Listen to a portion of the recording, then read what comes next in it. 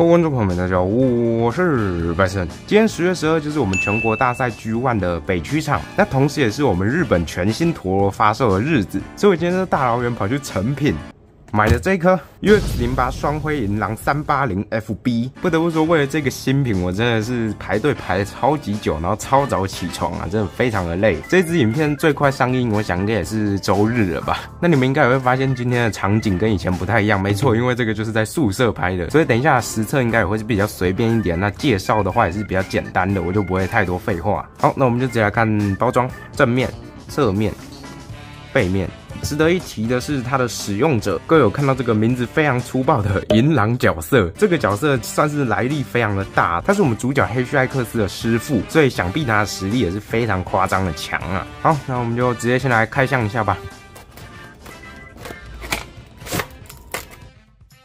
好的，各位，那以上就是我们风霜银狼的全部零件。当然，它还有附一个灰色拉条的发射器，那个我就不开了。我们就直接来看陀螺本体。首先，轴心是 FB，这一颗轴算是让我觉得有点小失望。目前看起来啦，因为它并不是真的所谓的能够自由旋转，而是它把原本 B 轴中间这段齿轮给取消掉，这样子的效果就会变成它装在陀螺上面的时候是完全不会有任何咔咔声的，就是真的转起来非常的顺滑。当然也没有到很顺滑，只是就是。不会有任何的阻力。这颗轴它在接上极限吊索的时候，能量消耗会变得比较少一点，持久力应该也是会有有所提升啦。但具体打起来效果怎么样也还不确定。另外就是跟原本 B 轴稍微做个比较。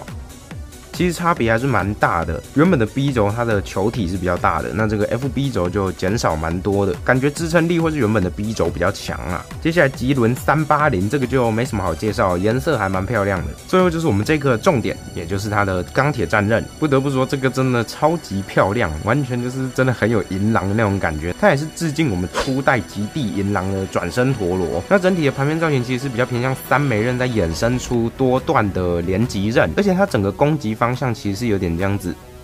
向下的，有点像爆裂是带卡欧斯的那种打击面的感觉，而且整体其实是非常顺滑的。我觉得它的持久力跟防御力应该是非常值得期待的。另外一提是重量方面也非常的不错，个体好的可以到三十七克，差一点的也有三十六点五以上，所以这颗没意外应该也是能够上主流啦。不过我目前是完全没有测试过，只是单纯的以它的外形跟重量来做评论，所以还是要等我们等下测试完再来做结论。除了它非常优秀上盖外呢，这一次其实其实它还有多一个神能力，也就是底下这一圈绿色的转轮，整个滑起来的感觉其实没有到很顺滑，但是我觉得以 X 世代第一颗搭载可动的陀螺来说，算是非常值得纪念的。那这个圆盘的效果基本上就可以抵御从下方而来的攻击，并且这个圆盘的造型其实跟它上面的刃的形状也是蛮类似的，所以它有时候会能够完全贴合来稳定它的重心，有时候转动时又能填补住上盖的凹槽，变成纯圆形的感觉。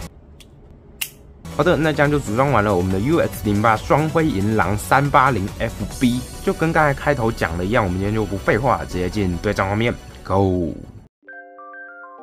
好了，各位，那我们已经来到对战画面了。就跟刚刚说的一样，我们今天的拍摄环境跟条件真的没有那么好，所以我打陀螺会简单的打，就打这三颗就好了，都是改造过后的。那每一颗就不计分，都只打两场，来综合看一下它的表现大概会怎么样。另外，因为我们要打两场嘛，所以我想要第一场用 FB 轴，第二场改成 B 轴，看一下哪一边的性能会比较好。但因为我们这次的实测是非常不严谨的，所以各位就大概参考一下就好了。第一场就直接先来比较重点的魔导神让。三六零 B 打这个 FB，基本上我就每一场都直接让银狼先下了。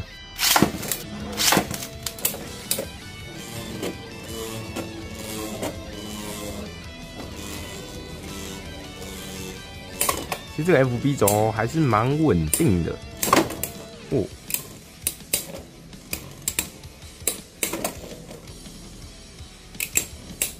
可是论持久度来说的话，可能还是 B 轴会更好一点。啊，完了，你看吧，支撑力相当的渣啊。接下来一样是打魔导神杖，不过把银狼换成 B 轴。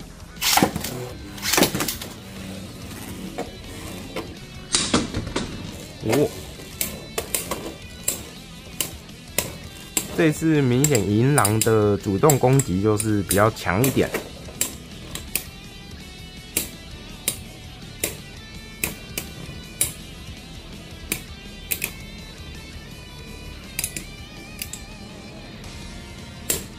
可是到尾速的部分，感觉神杖还是会比较有优势啊。好吧，非常的明显。看来这个配置真的不太适合银狼，当然对手是大魔王神杖啊，这也不好说。接下来第二场阿凤也是对上 FB 轴的银狼。我这次，我不得不说，这个 FB 轴支撑力还行呐，对上攻击型托啊，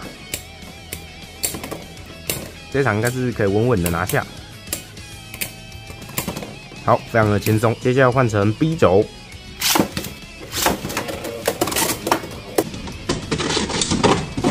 哇这场小可惜啊，直接被凤凰给推出去了。最后的话就是我们的龙骑士，上次介绍过的五六零一对上 FB 轴的银狼。我后来想了一下，因为这个龙骑士算是吸收型托，所以我让他先下好了。这次银狼算是拉的比较大力一点。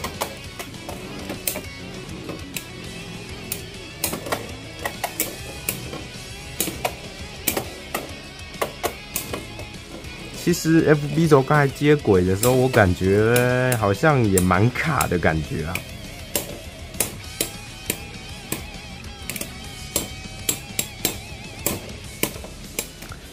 完了，感觉要被吸烂了。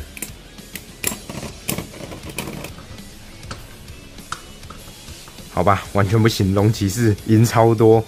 接下来第二局就改成 B 轴。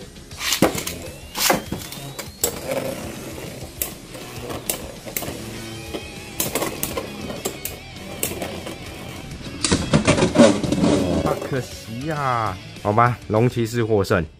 好，各位，那以上就是我们 UX 零八双辉银狼的实测啦。当然，我还是要再重申一次，这次的开箱跟实测是非常不严谨的。所以刚刚看到实力也并不代表它真的是很弱，或者是说怎么样的。总结测下来，我觉得这个上盖的防御力还算还行，但这个转轮到底有没有实际的作用，我也看不太出来。不过我觉得多少应该还是有用的啦，至少它这个形状在防爆上是真的还不错。我们搭配的是这个八零高度，可是刚才是完全没有爆过任任何。一场的顶多就是被击飞而已啦。接下来就是大家可能比较关心的 F B 轴跟 B 轴哪一个会更强一些？我觉得目前来说 B 轴还是没有办法被取代啦。F B 真的就还好，目前测试下来的感觉。可是它绝对也不会是差的轴心啦，可能定位会跟欧轴比较像吧。我觉得这颗轴之后可能也会蛮常跑在赛场上的，各位也是蛮值得去收的，或是可以来挖掘看看这个轴心比较适合哪一种陀螺。那么就到这结束了。如果喜欢，可帮在地方分享，然后副频道点个订阅，A P P 粉丝个赞，喜爱这个中国。那我是白色，各位小白，我们下见，拜拜。